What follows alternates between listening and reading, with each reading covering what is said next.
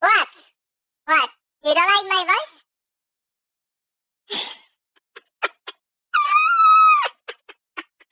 this is Charles, mate.